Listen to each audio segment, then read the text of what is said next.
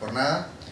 Eh, vamos con el ingeniero Agustín Hernández, eh, cofundador y gerente de Xmart Labs. Eh, nos va a contar cómo desarrollamos la nueva generación de aplicaciones mobile. Un aplauso cálido para él, por favor. Hola. Bueno, en primer lugar quería darle gracias a CIAP y a la organización del evento por la posibilidad de dar esta presentación. Para arrancar quería presentarles un dato que al menos a mí me, impactó bastante y es una frase que dijo Benedict Evans, que es un analista de lo que es el ecosistema mobile, que dice que la oportunidad y el mercado que va a abrir eh, esta plataforma va a ser 10 veces más grande que el mercado que eh, ha generado Internet hasta ahora. ¿Sí? Un poco para graficar esta tendencia, acá les muestro una gráfica donde muestra la población mundial y cómo va, va creciendo en forma muy leve. Y en naranja muestra la gente que tiene un celular común y en negro muestra la gente que tiene un smartphone. Como pueden ver, el crecimiento y la penetración de mercado que están teniendo los smartphones eh, es impresionante y hacia el 2015 va a alcanzar más o menos a la mitad de la población mundial. ¿sí? Sumado a eso, el mismo analista eh, también dice que el, costo para acceder a ese mercado, que es inmenso, eh, durante la última década se ha disminuido 10 veces. O sea, eh, al mismo tiempo que el mercado ha crecido muchísimo, el costo para acceder a, a ese mercado ha bajado también muchísimo. Esto se debe principalmente a lo que ha significado Internet para el desarrollo de aplicaciones y cómo ha mejorado muchísimo los procesos y las herramientas que existen para desarrollar aplicaciones. Y al mismo tiempo también se debe a la baja en los costos eh, para acceder a ese mercado, ya que la plataforma mobile brinda la posibilidad de acceder a un montón de gente y reduce los costos muchísimo. También hay otro aspecto que es el, la reducción en los costos de la infraestructura, que últimamente también ha, bajado mucho. No me había presentado antes, pero mi nombre es Agustín Hernández, yo trabajo en Smart Labs. En esta charla lo que quería hacer era contarles un poco cuál había sido nuestra experiencia y compartirles algunas de las herramientas y de procesos que usamos habitualmente eh, para construir productos sobre la plataforma mobile. Eh, estos procesos y estas herramientas las usamos eh, en forma diaria y las hemos aplicado exitosamente en distintas industrias, tanto en la salud como productos en el área financiera, para bancos, productos para consumidores finales, en fin. Para abrir un poco eh, esta presentación, les quería mencionar algunos de los desafíos a los que nos enfrentamos y cuáles y que, que necesitamos resolver. En primer lugar, creo que el desafío número uno es hacer algo que la gente quiera. Muchas veces eh, nos ha pasado a nosotros y a mucha gente le pasa eh, que construís un producto y lo pulís muchísimo y cuando lo, lo, se lo mostrás a alguien o cuando haces el super lanzamiento te das cuenta que a nadie le importa, ¿sí? que nadie quiere usar tu producto y que básicamente tiraste todo ese esfuerzo a la basura.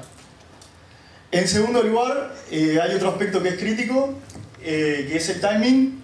O sea, si, dado que existe una oportunidad muy grande, a la vez también hay muchísima competencia y hay distintos jugadores que van a tratar de, que muchas veces están trabajando en lo mismo que nosotros, entonces el factor tiempo es fundamental para poder aprovechar las oportunidades que hay, ¿no? Y en tercer lugar, eh, está el tema de la calidad de los productos que hacemos. Eh, de vuelta, en un ambiente tan competitivo, eh, la barra y las expectativas de los usuarios que van a usar nuestras aplicaciones está muy alta, entonces eh, es necesario estar a la altura de la experiencia de usuario que, que brindan eh, las grandes aplicaciones a las que los usuarios están acostumbrados, como puede ser Facebook, Twitter, lo que sea. Eh, está lleno de aplicaciones en el marketplace que la gente las abrió una vez y nunca más las volvió a usar, muchas veces por una mala experiencia de usuario, entonces eso es algo que queremos evitar. ¿Cuál es nuestra solución a estos problemas? eso es lo que les voy a contar de acá hasta el final de la charla, básicamente. Eh, en este momento lo que les quería mostrar era como un overview y una vista general de cómo eh, iba a estructurar esta presentación. En primer lugar, eh, usamos la metodología Lean Startup, que a continuación les voy a contar un poquito más de qué se trata. Y después les voy a mostrar alguno, el proceso que seguimos eh, a nivel de desarrollo, las tecnologías y herramientas que usamos. Con respecto a Lean Startup, eh, ¿a cuántos les resulta familiar? ¿Pueden levantar la mano los que les suene de algún lado?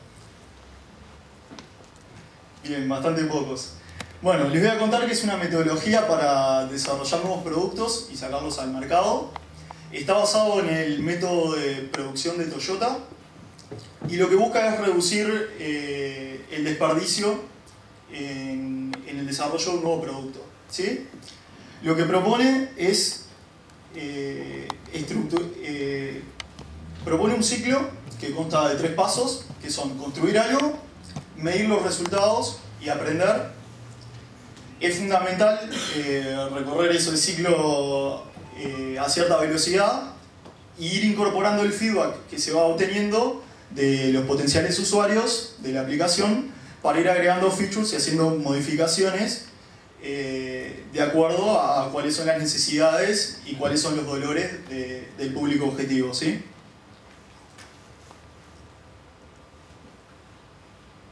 Bueno, eh, muchos capaz que se preguntan que, y tienen la duda de si esta metodología les va a servir a ustedes, ya que capaz que trabajan en una empresa muy grande o en una organización del Estado.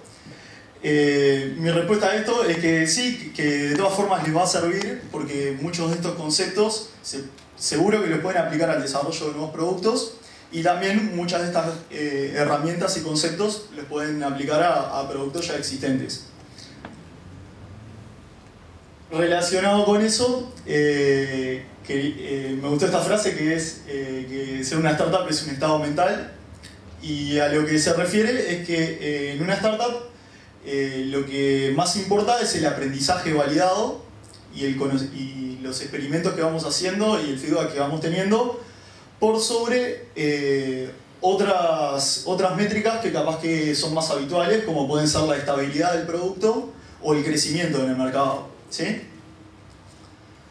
Para mostrarles un ejemplo un poco más gráfico de esto que les estoy contando, les quería mostrar el carrito del de, galleguito.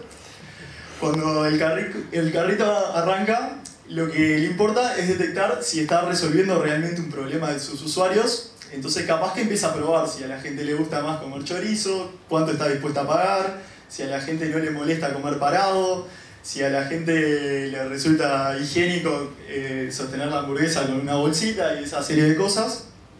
Y capaz que después de aprender bastante del problema y aprender bastante de lo que requiere el mercado, el carrito del galleguito puede abrir otros carritos, eh, pero ya con la, la, fórmula mágica que le gusta a los usuarios y que también le cierra y, le resulta un, un negocio eh, sostenible. ¿sí? Bueno, después de la introducción a, a Lean Startup, que era la primera parte de lo que les quería contar, eh, les voy a hablar del proceso de desarrollo que seguimos. Nosotros eh, abarcamos las dos partes, eh, las dos grandes partes de lo que implica el desarrollo de una nueva aplicación, que son el diseño y el desarrollo propiamente dicho. Yo me voy a centrar bastante, por lo que es el evento y la audiencia, en la parte de desarrollo del producto A partir de lo que les estaba contando, y si ustedes tienen algún conocimiento de lo que son las metodologías ágiles de desarrollo, les habrá sonado bastante similar, ya que la idea es eh, ir armando un producto, ir iterando y ir evolucionando el producto a partir del feedback de usuarios. Y justamente eh, el proceso eh, ágil de desarrollo de, de, un producto se ajusta perfectamente a lo que pregona la metodología de Lean Startup. ¿sí? En ese sentido, hay algunos puntos que les quería comentar eh, con respecto a la forma en la que nosotros trabajamos habitualmente y que me parece que, nos dan muy buenos resultados. En primer lugar, está el foco en liberar algo en forma temprana y hacer eh, releases en forma frecuente del producto. ¿sí? De esa forma, eh, poder ir probando a cada paso cuál es el feedback del mercado e ir incorporando esas lecciones aprendidas en, en las nuevas etapas del desarrollo del producto. Con respecto a, la, los mecanismos de comunicación que seguimos eh, durante el proyecto, Generalmente eh, confiamos bastante en la colaboración eh, espontánea eh, entre los integrantes del equipo y eso, y a la vez lo complementamos con stand-up diarios. ¿Alguno conoce de qué se trata un stand-up en el tema de las metodologías ágiles? ¿Pueden levantar la mano? Bueno, muy pocos. A lo que refiere eso es hacer todos los días una reunión muy breve eh, el nombre viene de que se trata de una reunión que se hace con toda la gente parada para contarse en qué han estado trabajando en el día anterior y en qué piensan trabajar en ese día.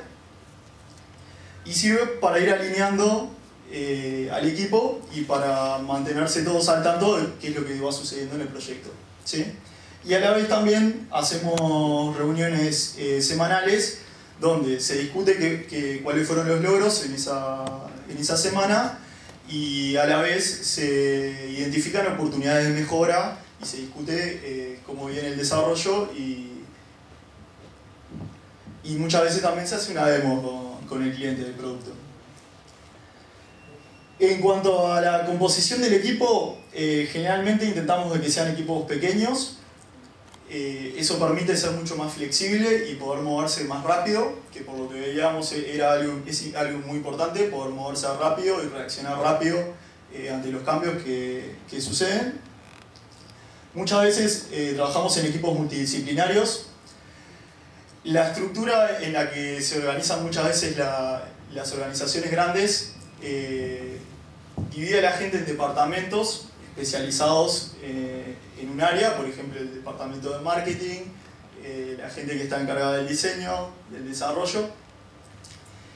Esa organización optimiza eh, el flujo de trabajo para asignaciones eh, más grandes y acá lo, que, a lo que nosotros nos enfrentamos es a asignaciones mucho más chicas. O sea, las porciones en las que vamos a ir trabajando van, eh, se van a ir dando en forma incremental. ¿sí?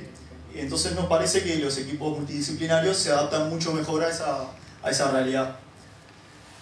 Y en tercer lugar, muchas veces esos equipos eh, son bastante organizados, eh, autoorganizados. Como les decía, confiamos bastante en la colaboración que se da en forma espontánea a nivel del equipo, ya que también permite moverse con mucha más flexibilidad y velocidad frente a condiciones de incertidumbre. Bueno, eh, ahora quería contarles eh, algunas herramientas que, usamos y algunas prácticas que usamos, eh, que son bastante específicas de dos cosas. De la circunstancia, de que estamos hablando de que estamos desarrollando un nuevo producto y que muchas veces no sabemos cuál es el producto y no sabemos si va a existir un mercado para ese producto. Y a la vez también les voy a mencionar herramientas que son específicas para aplicaciones móviles, ¿sí? para el desarrollo mobile. En primer lugar, voy a empezar hablando de herramientas que sirven eh, para la comunicación y para la colaboración entre los integrantes del equipo. La primera que les quería mencionar era que usamos eh, repositorios para el control de, versiones eh, distribuidos, como puede ser Git. No sé si ustedes tienen alguna experiencia con Git o con repositorios para el manejo del código. Bueno, en ese caso les puedo mencionar que sirven para colaborar entre la gente que está trabajando en el proyecto y que eh, asisten a los integrantes del equipo a trabajar por separado y tener un repositorio centralizado donde se va manteniendo la última versión del código del proyecto. ¿sí? En nuestra experiencia, Git eh, es un sistema de, es un repositorio eh, que funciona muy bien para ambientes donde la gente está en forma distribuida y está muy eh, bien pensado para eh, situaciones donde la gente trabaja por separado y puede hacer lo que se llama un branch del repositorio, trabajar sobre el mismo y después incorporar los cambios al repositorio principal. ¿sí? Hay dos herramientas web que son como un envoltorio por encima de Git, que se llaman GitHub y Bitbucket, que a nosotros nos resultan muy útiles y que las pueden probar. el otro tipo de herramientas que les quería mencionar para las funciones de comunicación y colaboración a nivel del equipo eh, son herramientas que sirven para, bueno, eh, justamente para colaborar y para comunicarse a través de la web eh, en nuestra experiencia son muy beneficiosos eh, porque permiten muchas veces comunicación asincrónica, o sea, poder comunicarse aun cuando no, toda la gente está trabajando en el proyecto, y a la vez también eh, permiten trabajar a equipos que están ubicados en forma remota, en forma, en forma muy eficiente. ¿sí? Estas herramientas, algunos ejemplos son el Pivotal Tracker, que es una herramienta para gestión de proyectos pensada para trabajar con metodologías ágiles. Trello, que es una herramienta de colaboración un poco más genérica. Y después eh, Slack es una aplicación bastante nueva que también sirve para comunicación y para compartir archivos y, y, documentos.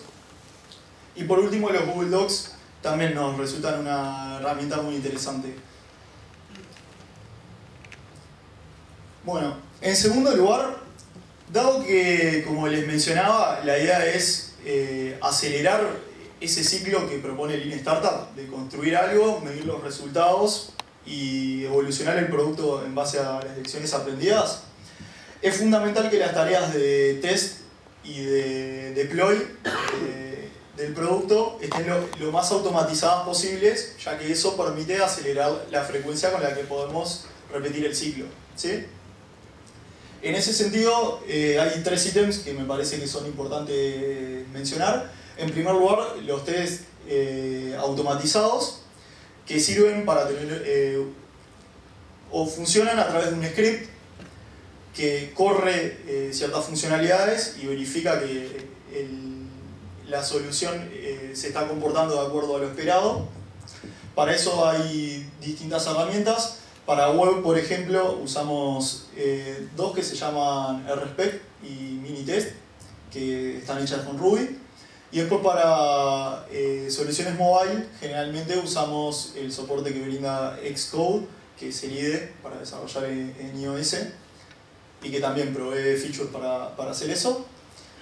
En segundo lugar, eh, muchas veces usamos sistemas de integración continua, que sirven para eh, estar constantemente eh, subiendo a un ambiente de producción o de, o de testeo eh, el proyecto en el que estamos trabajando. ¿sí? ¿Cómo funciona la, la, integración continua? Con cada nuevo commit o con cada nueva contribución que hacen los desarrolladores al repositorio del proyecto, en forma automática corre los tests que habíamos automatizado y en caso de que cumpla ciertos estándares, eh, realiza la, la puesta en, el en producción o en el ambiente de, testeo de, la aplicación. ¿sí? Por último, eh, para soluciones mobile eh, es importante poder distribuir las distintas versiones en las que vamos trabajando. Muchas veces es con un equipo de, de beta testers o con los distintos involucrados del proyecto y en etapas más avanzadas eh, ya sí puede ser con los usuarios finales de la aplicación. Para eso las herramientas que usamos son TestFlight, que ahora eh, lo incorporó Apple y que funciona para iOS. Y en la plataforma Android lo que usamos es Google Play, que brinda eh, un ambiente alfa y beta donde se pueden agregar ciertos usuarios y permite distribuir la aplicación a ciertos usuarios. Por ejemplo, si yo estoy trabajando con Enrique y Gonzalo, eh, yo les voy a distribuir a ellos las nuevas versiones que vaya haciendo de, la aplicación y ellos desde su celular pueden bajarla y irla probando sin necesidad de tener que ir al, marketplace eh, público, que es donde, por donde se distribuyen las aplicaciones normalmente. ¿sí? Por último, eh, como les mencionaba antes, es muy importante ir recabando datos de lo que es el uso de la aplicación, porque es lo que nos va a permitir ir evolucionando la, el producto eh, de acuerdo a las necesidades del público objetivo. En ese sentido, voy a mencionar tres tipos de, de herramientas que nos permiten recabar datos del uso que se le está dando a la aplicación. En primer lugar, eh, para tener analytics y métricas del funcionamiento del producto, usamos Google Analytics eh, y otras dos herramientas que se llaman Mixpanel y Kissmetrics. ¿sí? Acá yo, por ejemplo, lo que puedo ver es eh, qué pantallas están visitando los usuarios que acceden a mi aplicación, eh, si la gente abre la aplicación y la cierra inmediatamente, o qué features son las que encuentran más valiosas y usan en forma más frecuente, y ese tipo de información. ¿sí? En segundo lugar, hay una técnica que se llama test AB, que lo que permite es probar dos versiones distintas de la aplicación entonces yo capaz que estoy en la duda de si a la gente le va a gustar más el color eh, rojo o el color azul para una cierta funcionalidad. Y lo que puedo hacer, si no me decido y lo pienso muchísimo, es probar las dos y ver cómo funciona cada una eh, en una forma más o menos eh, experimental. ¿sí? Para eso usamos herramientas como Optimizely, Tablytics y Optimize Generalmente se define un... Eh, para esa prueba siempre hay un grupo de control y hay un, nuevo grupo donde se, puede probar ese cambio. ¿sí? Por último, eh, también es importante eh, monitorear la, la, performance de la aplicación, ¿sí? el rendimiento, para ver y detectar en caso de, de, que haya un problema con el rendimiento, por detectarlo en forma temprana y corregirlo. ¿sí? Bueno, eh, otro punto que quería tratar era el tema de las tecnologías. Eh, hay distintas plataformas que, que, eventualmente hay que cubrir y a la, vez hay distintas alternativas eh, en cuanto a las tecnologías. En ese sentido, lo primero que les quería mencionar es que creo, creemos que no hay una bala de plata, no hay una herramienta o alguna tecnología en particular eh, que sea eh, superior a todas las demás. Muchas veces, eh, para tomar la decisión de qué camino tomar, es importante considerar cuál es el mercado objetivo de, de nuestra aplicación y cuáles son las features de la aplicación y dependiendo de eso va a tener más o menos sentido ir por una solución eh, nativa, híbrida o web para la aplicación. ¿sí? Sin perjuicio de eso, eh, nosotros creemos bastante en las soluciones open source. ¿sí? Eh, nos parece que brindan varias ventajas y ya han tenido, se han potenciado mucho en, primero con la aparición de Internet y después con la aparición de GitHub, que lo que permite es descubrir eh, distintos proyectos open source que hay públicos y brinda funcionalidades de, casi de redes sociales para que los desarrolladores puedan colaborar sobre los distintos proyectos. Creo que eso va a impactar en forma muy positiva en el ecosistema de open source y ya lo estamos viendo en base a nuestra experiencia.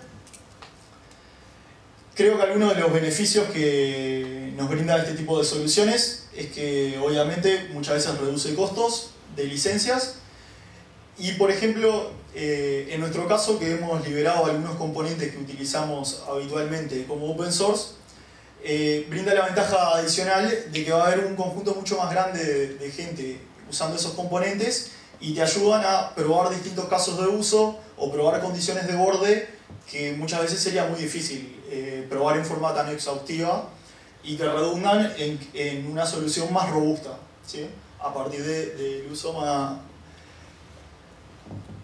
más expandido de esas soluciones.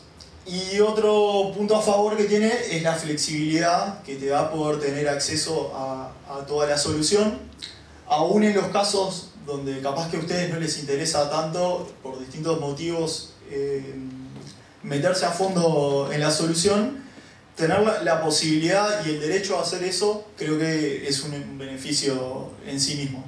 ¿sí? Bueno, eh, quería pasar a hacerles un resumen medio breve de lo que les presenté hasta ahora y cuáles son creo que eh, las cosas más importantes a tener en cuenta. Como les decía, nosotros basamos eh, nuestra forma de trabajo y un poco la filosofía nuestra es la de Lean Startup, ¿sí?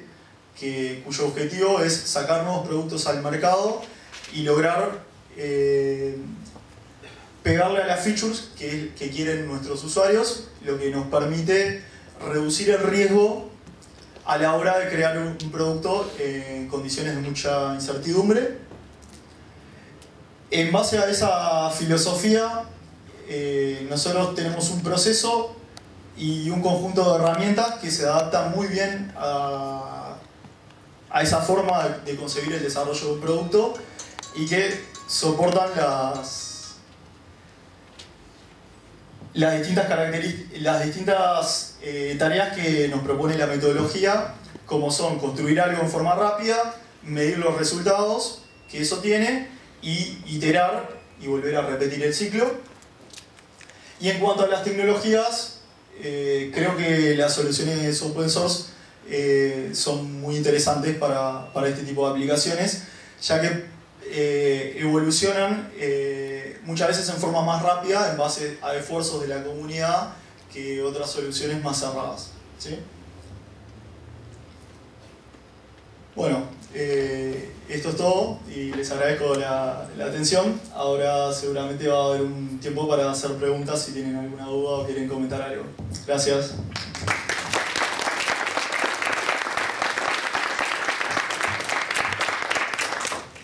¿Alguna pregunta?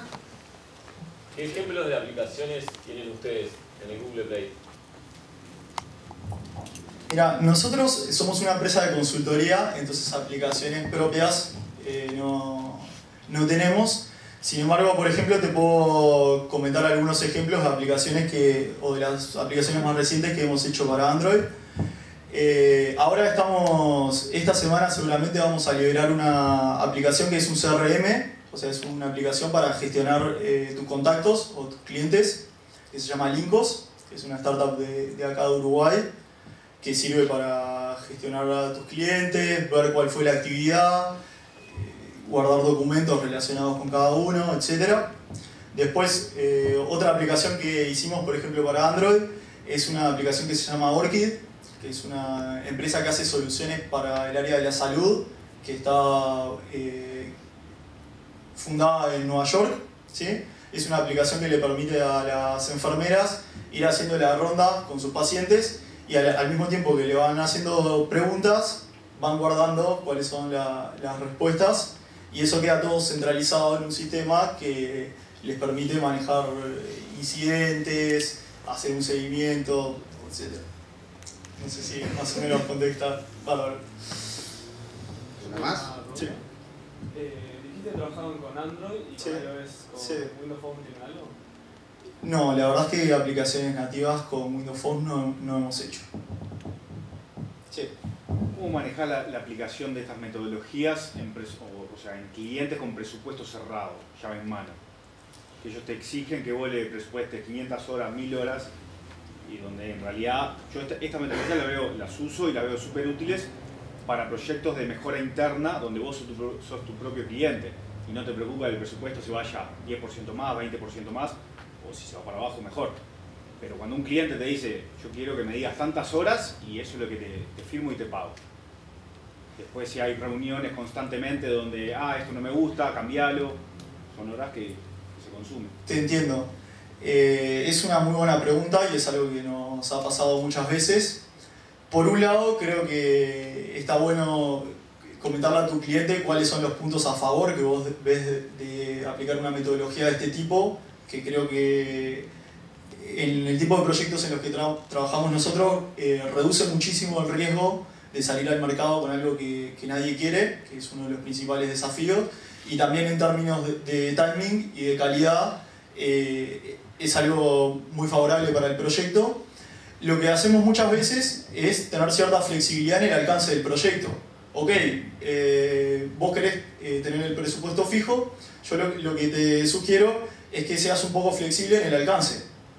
¿Sí? Ya que a medida que vayamos avanzando en el proyecto, vamos a ver cuáles son las features que a, tus usuarios más les interesa, entonces de antemano eh, no vas a saber qué, qué, es lo que quieren en forma exacta. ¿sí? ¿Más preguntas? Bien. Bueno, un aplauso para Agustín Hernández.